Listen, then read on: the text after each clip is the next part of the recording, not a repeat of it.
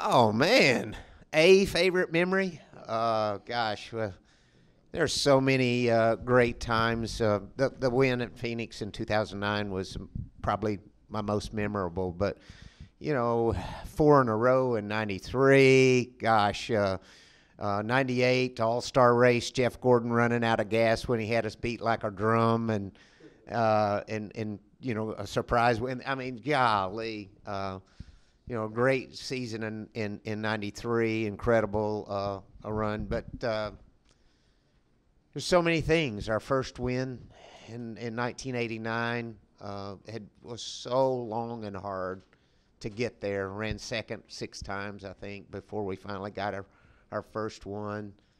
But really, probably the epic season long battle with Dale Earnhardt in 1990 for the championship. And uh, even though he came out on top, uh, it was uh, it was my breaking break it, breakout season and uh, set the tone for the 90s and epic battles with Earnhardt and and the greats like you know Bill Elliott and and and later on Jeff Gordon and uh, Rusty Wallace and just uh, uh, Davey Allison and Ernie Irvan. Um, just it was it was epic.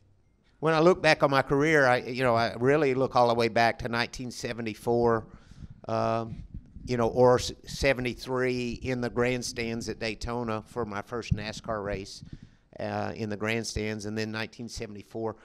You know, and 73, I, I picked Richard Petty as my favorite driver and I never dreamed of being able to race against Richard. I never dreamed of being able to be a NASCAR driver.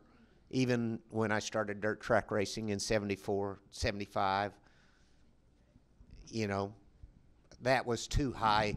That was too high of a goal.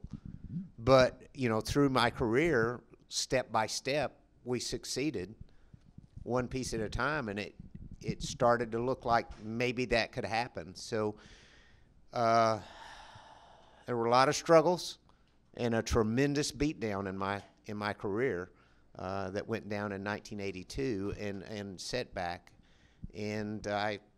Uh, I look back on it and can't believe that I had the opportunity to work with. I said it before with some of the greatest in in motorsports history, and I got to drive fast race cars, and I got to race against Richard Petty and David Pe- Pearson and Cale Yarborough, and uh, and then and Darrell Waltrip and you know the real greats. Yeah, I mean the pretty incredible. I also got to race against all the way up to race against uh, Kyle Larson. So it was an incredible career. I'm extremely grateful for what I got to do and what I accomplished, and uh, darn sure not bitter about what I didn't accomplish.